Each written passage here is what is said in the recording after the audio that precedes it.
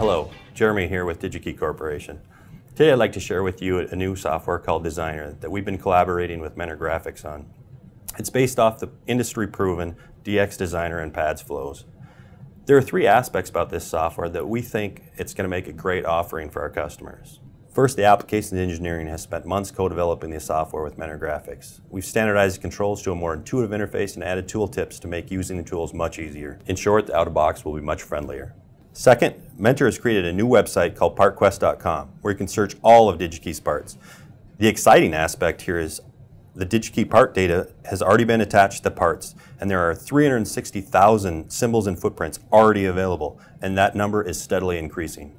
Third is the new pricing model. The sticker shock associated with an upper end tool can be intense for new customers into the CAD market. So we've changed the model over to a subscription style that will trim the upfront cost and back end maintenance, making this a win-win for DigiKey customers. Come check out the new professional grade tools at digikey.com slash designer. Thank you.